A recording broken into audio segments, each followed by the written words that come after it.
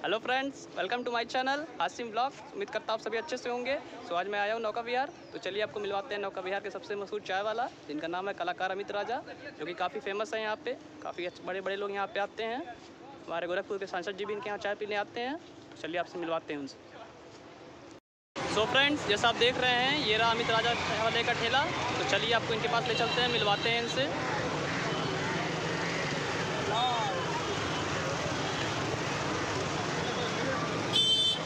सो so friends ये रहा कलाकार अमित राजा का ठेला, जो कि काफ़ी मशहूर है यहाँ पे नौका विहार पे। आप नौका विहार पे आएँगे, किसी से पूछेंगे तो इनका फलता आपको बता दिया जाएगा। जैसा कि आप देख सकते हैं, हमारे सांसद रवि किशन जी भी चाय पीने आते हैं, और ये आप देख सकते हैं खेसारी लाल जी भी यहाँ पे हैं। तो ये हैं हमारे अमित भाई। ये भी, देखिए काम चल रहा है, चाय बन रही है। काफ़ी लोग यहाँ पे मिलेंगे आप लोग को, काफ़ी भीड़ रहती है इनके वहाँ। चलिए आपको इनके बारे में बताते हैं, इनसे मिलवाते भी हैं। पहले आपको इनकी दुकान वगैरह दिखाते हैं। जैसे कि फ्रेंड्स आप देख सकते हैं, इनका यूट्यूब चैनल भी है, जो कि काफ़ी अच्छा म्यूज़िक देते हैं, काफ़ी अच्छा गाना गाते हैं, भोजपुरी से रिलेटेड और धार्मिक सॉन्ग भी ये गाते हैं, जो कि काफ़ी अच्छा होता है। मुझे फ्रेंड्स इनकी आवाज़ और चाय दोनों अच्छी लगती है। तो फ्रेंड्स अभी मैं पहुँच चुका हूँ भाई के पास। तो चलिए अमित भाई से बात करते हैं। बात करते हैं इसके बारे में बताते हैं आपको। तो अमित भैया अगर आप दो मिनट खाली और टाइम सके तो आपसे बात करके सकता है लेकिन ज़रूर मैं आप लोगों के लिए समय दूँगा बहुत बहुत आप लोग धन्यवाद भैया। इतने दूर से आए हैं तो आप लोगों के लिए अगर समय नहीं दिया। जैसा कि मैंने आपसे कहा था कि काफ़ी एक दिन इंसान भी है देख सकते हैं आप चलिए अमित भैया सबसे पहले आपका स्वागत है मेरे चैनल पे आसिफ ब्लॉग तो भाई कैसे हैं आप मैं बहुत अच्छा हूँ और आप आप कैसे हैं? भैया आपकी दुआ है काफ़ी अच्छा हूँ काफ़ी खुश हूँ आपसे भी और अच्छा लग रहा है काफ़ी अच्छा लग रहा है तो अमित भाई जैसा कि आप जानते हैं, जैसा कि हम जानते हैं, आप डॉक्टर बिहार के सबसे मशहूर चाय वाला माने जाते हैं। ऐसा क्यों है और आपके साथ में क्या अलग बात है कि दूर लोग आते हैं? यहाँ तक कि हमारे सांसद जी भी आपके वहाँ आते हैं खेसारी लाल जी भी आपके वहाँ हैं क्या देखिए, सबसे बड़ी बात रही कि मैं बहुत पहले से, जब मेरा स्ट्रगल चल रहा था तो मैंने तीन कंसेप्ट पे काम करना शुरू कर दिया। और वो तीनों कंसेप्ट हमारे doctor A P J Abdul Kalam ji का है। वो कहा करते थे, सपना वो नहीं जो सोने में आता है। वास्तव में सपना वो होता है जो सोने ही नहीं देता है। अपनी मंजिल, अपने मुकाम को पाने के लिए अपने तरीके को बदलना ज़रूरी है। इरादे को नहीं इरादा मेरा बचपन से एक देश था मेरी जिद थी कि मैं भी फ़िल्म इंडस्ट्री में एक कलाकार हूँ और अपनी कलाकारी से लोगों के दिलों में जगह बनाऊँ अपने गायकी से अपने नायकी से अपने अ, हरफलनौना अंदाज से जो भी इंटरटेनमेंट लोगों को करता हूँ और वही काम मैंने अपना जिद किया और बहुत मैं उस भाई का शुक्रगुजार हूँ कि जो भाई हमारा मित्र नौका बिहार की धरती पर लेकर आया और बोला कि अमित आप आप यहाँ से अपनी ज़िंदगी अपनी। और मैं यहाँ पर आया तो जिद ठान लिया एक शायरी मुझे और याद आ गई। कि मुश्किलें इंसान के हौसला को आजमाती है। मुश्किलें इंसान के हौसला को आजमाती है और सपनों के पर्दे आँखों से हटाती है। मुश्किलें इंसान के हौसला को आजमाती है, सपनों के पर्दे आँखों से हटाती है और आप किसी बात से हिम्मत मत हारना मेरे भाई। ठोकर ही तो इंसान को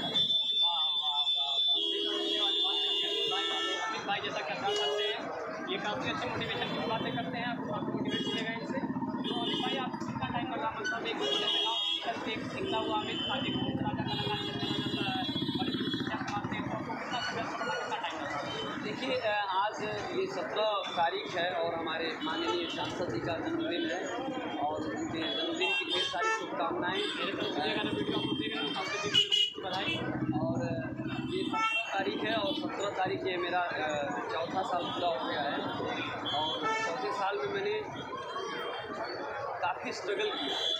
और स्ट्रगल करते करते मैं आज एक मुकाम पर और कहता हूँ बात और मैं युवाओं को, हर एक युवाओं को यही बात कहता हूँ कि हर एक युवाओं की मिसाल है अमित राजा साहब। अगर जीत हो तो हर एक सपना हकीकत में बदल सकती है। पैर की मोच और इंसान की छोटी सोच कभी आगे नहीं बढ़ेगा मैं बार बार युवाओं को बोलता हूँ कि मिल जाएगी मंजिल, भटकते भटकते, मिल जाएगी मंजिल, भटकते भटकते। अरे गुमराह तो वो लोग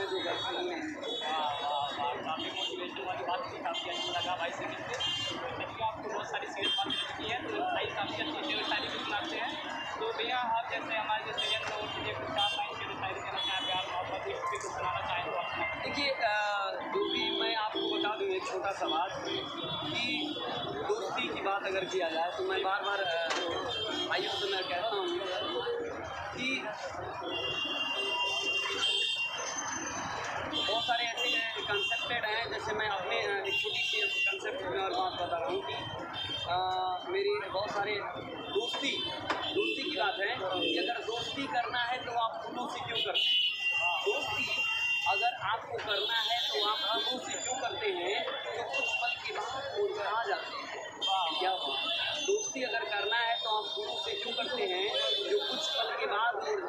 जाते हैं, अगर दोस्ती करना है तो जाकर कांटों से करिए ना, जो चुभने के बाद बड़ा याद आते हैं। और प्यार मोहब्बत की बात अगर किया जाए तो हमेशा, कि तपन सूरत से होती है, सहना जमी को पड़ता है। तपन सूरत से होती है, सहना जमी को पड़ता है, और कसूर आँखों से होती है, मगर दर्द आँखों को पड़ता है।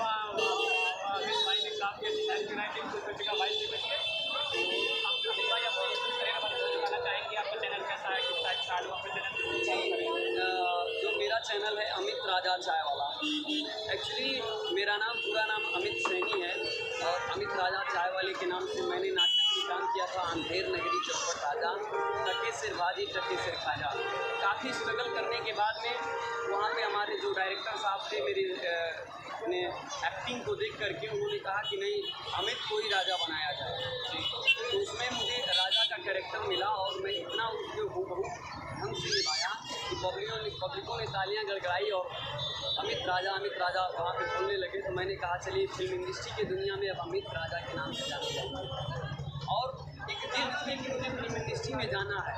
तो मैंने थोड़ा अपने इरादों को मज़बूत रखा और तरीके को बदल दिया। फिर मैं जब नौका विहार पर आया तो चाय वाला के नाम से गया।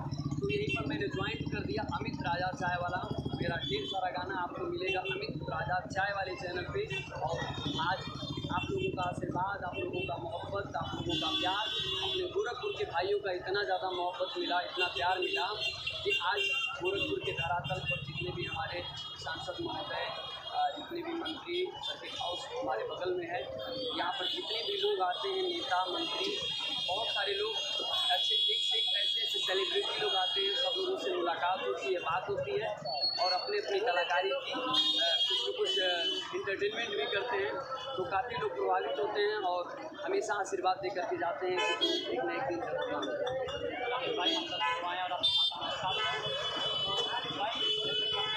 कि काफ़ी अच्छा लगा मुझसे तो अमित भाई, जैसे कि एक पहले आपका जन्मदिन था बहुत सारी बधाई आपको। बिल्कुल जैसे जन्मदिन की बात, मेरी पंद्रह जुलाई को मेरा जन्मदिन था बट मैंने इस बार तो काफ़ी, क्योंकि मैंने सोचा कि ना कि जन्मदिन तो